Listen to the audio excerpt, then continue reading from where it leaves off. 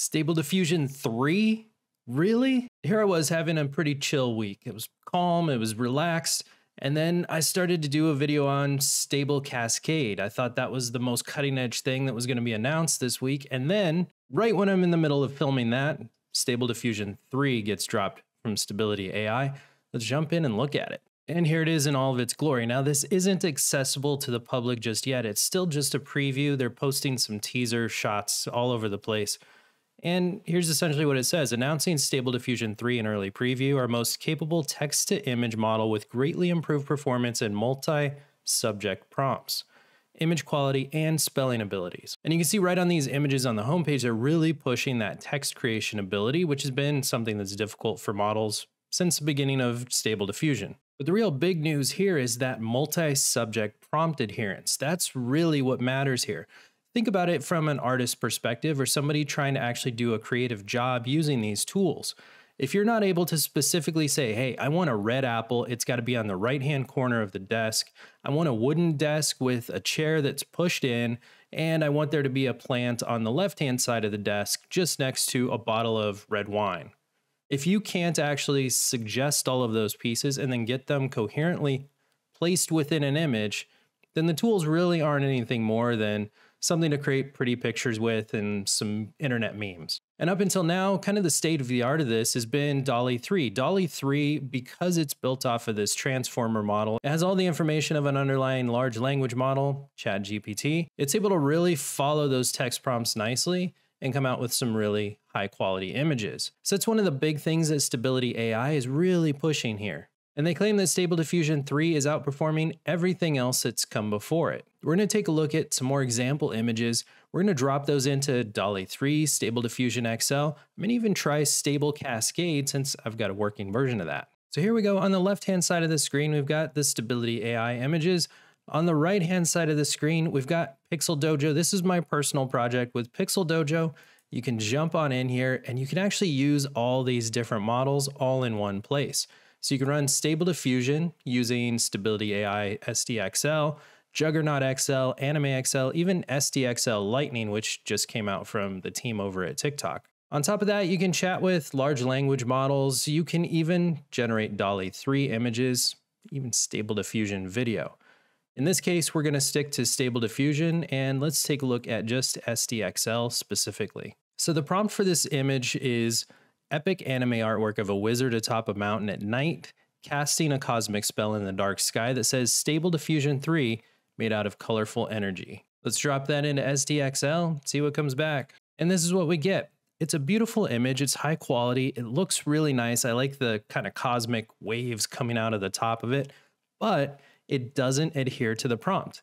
It says a wizard on top of a mountain. It follows that part. Night sky casting a cosmic spell into the dark sky that says stable diffusion 3 made out of colorful energy. And you can see that last part, it just completely falls off. It doesn't generate anything like that. Let's see if DALL-E 3 fares any better. And even DALL-E 3, still a cool image, looks beautiful. You can see the mountains, the wizard, that dark energy coming out of there, but it almost looks like an S, but you don't get any words. It's again not able to generate that stable diffusion 3, the actual words out of the energy in the sky. And now let's try this in the other latest model from Stability AI, Stable Cascade. And if you want to know how to install Stable Cascade, it's fairly difficult and time consuming unless you're one of my Patreon subscribers.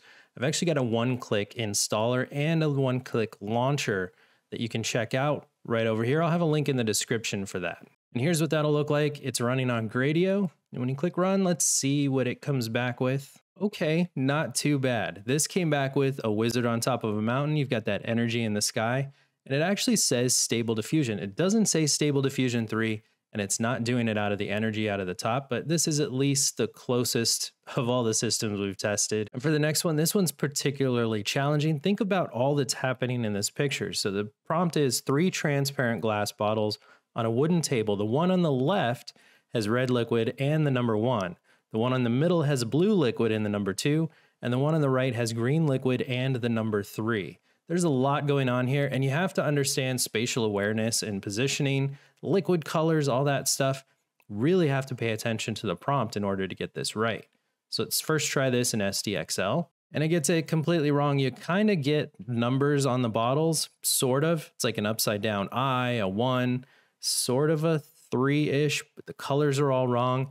About the only thing it got right is that it's glass bottles on a table, but everything else it sort of mashed up. Will DALL-E 3 fare any better? Let's check it out. Okay, DALL-E, this is really, really good. I love the frosted look of the glass, really aesthetically pleasing here. So you've got the wooden table, that looks good. You've got the one on the red, two with the blue, and three with a greenish liquid. I would say DALL-E kind of nailed this. Pretty impressive. Let's check out Stable Cascade, see how it fares. Much better job on the text, on the bottles, on the liquids, but still the wrong order, the wrong numbers on the wrong bottles. It says 323, it's got the red on the right instead of the blue in the middle. It's completely wrong but a little bit better at least than the result from SDXL on the text generation front. The prompt for this one is a horse balancing on top of a colorful ball in a field with green grass and a mountain in the background. Stable Diffusion 3 comes back with exactly that. see what DALL-E comes back with. Well, that's interesting. So it's a green field, it's a bunch of balls, so it looks like it's it is colorful. So I'll say this, it sort of mashed up a bunch of individual balls colorfully and then you got a horse really awkwardly sort of standing on top of it, or not really standing, but just sort of sprawled out on top of it. Mountains in the background. Overall, pretty good adherence to the prompt, but definitely a sort of weird result. For SDXL, not even close. The adherence to the prompt really isn't there. You've got sort of this ball that's, I don't know, is that, it looks like almost the shape of a continent on it. It's colorful, I'll give it that and then the horse looks like it's sort of behind it, sort of on top of it. You've got a mountain and a green field, but it seems like Stable Diffusion XL sort of just falls off after the first couple words in a prompt and really loses it from there. The Stable Cascade is somewhat between DALL-E and Stable Diffusion XL. You've got a colorful ball, you've got a green field, you've got a mountain in the background. The horse just sort of precariously floating in the sky which, you know, sort of isn't possible. This has to be one of my favorites because it's so specific. It's a weird image, don't get me wrong, but it's very specific. The prompt is a painting of an astronaut riding a pig, wearing a tutu, holding a pink umbrella. On the ground next to the pig is a robin bird wearing a top hat. In the corner of the words, stable diffusion. And you can see it nailed all of them. Now, obviously, we don't know if these images are cherry picked. I assume to a degree that they are, but the fact that it nailed every single element of the picture, really impressive.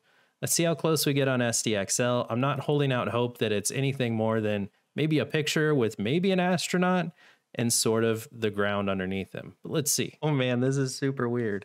Okay, so we've got this sort of astronaut bird. There is an umbrella, so I'll give it that. It is riding on a pig. And I will say the pig looks much cooler than the one in the left image. Now, this bird down here, I don't know what the deal is with that. It's like another pig bird and then something going on over here. There's no words, there's no top hat. It's really missing a lot of the other elements, just like we've seen in the other pictures. Now, I have higher hopes for DALL-E because it's generally better at picking up all those references in a prompt. Let's see what it comes back with for this. Okay, this is pretty interesting.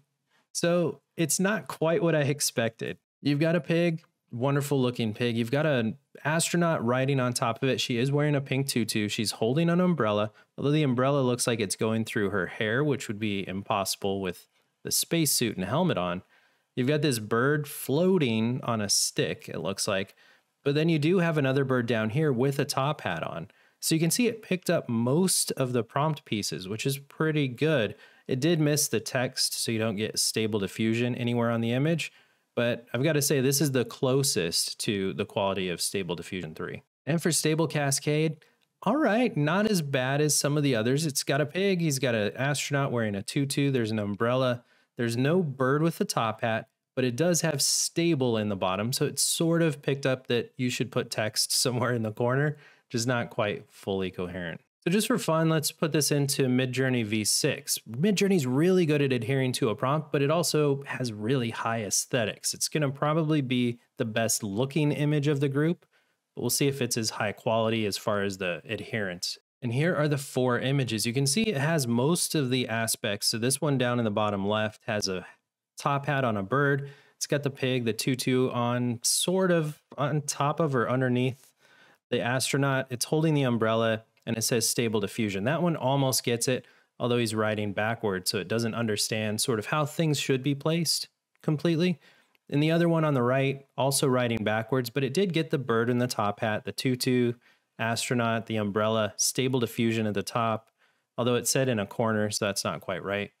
All of them have writing though, and it looks like most of the elements. So I've got to say, Midjourney looks really good. I love the artwork, the overall aesthetic of this image is just, again, not quite as good at following the prompt as Stable Diffusion 3. And as I mentioned, this isn't available to everyone yet. You can join the waitlist over here on Stability AI News, Stable Diffusion 3. I'll have a link down so you can do that. You've got some other examples of images here. A lot of them, again, just sort of look at the text generation abilities and its ability to sort of follow those prompts. Now, the Stable Diffusion 3 suite of models, so this is telling me that there's going to be not one, but multiple models that come out of this, range from 800 million to 8 billion parameters. So there are going to be some monstrous models out of this. 8 billion parameters is quite a lot.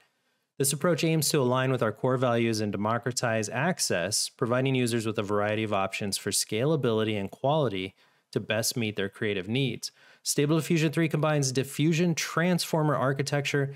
That's a new type of architecture for these diffusion models that more aligns with what you've seen from Sora and the OpenAI team for their new video generation. It also has flow matching. Flow matching is a little bit different than what's been done before. If you've watched my video on how stable diffusion works, you know that it works in steps. You go from a completely static image and you step through it iteratively, one piece at a time until you reach that final image. Flow matching sort of skips a lot of that and it just directionally sort of flows through the process, skipping that individual step and getting to what it seems like is a higher quality result.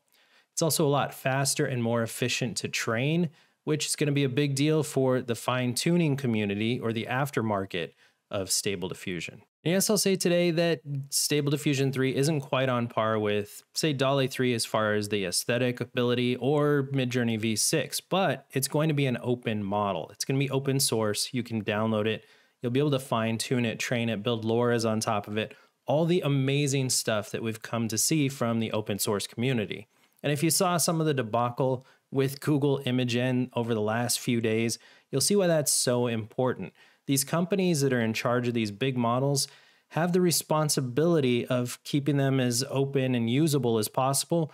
Google really dropped the ball there, and that's why open source is so vital and important to the community. At the end of the day, I don't want an AI model that's trying to align me. I want an AI model that I can use freely, openly, and in an uncensored way. So thank you so much, Stability AI, for putting these models out there and making them accessible to people like us. And as soon as Stable Diffusion 3 is accessible to the broader audience, I'm going to put it up on pixeldojo.ai, so be sure to check that out. And if you want to check out Pixel Dojo AI, YouTube 50 is a discount code you can use, 50% off your first month. Thank you so much to all of my supporters and subscribers. And if you haven't subscribed yet, go ahead and do that now. Hit that like button. That really helps me out. As always, I'm Brian Lovett, and remember, all your tech are belong to us. We'll see you next time. I'm the virtual prophet in the tech town, breaking down AI, wearing the crown. From basics to complex, never let you down. All your tech AI, earning the renown.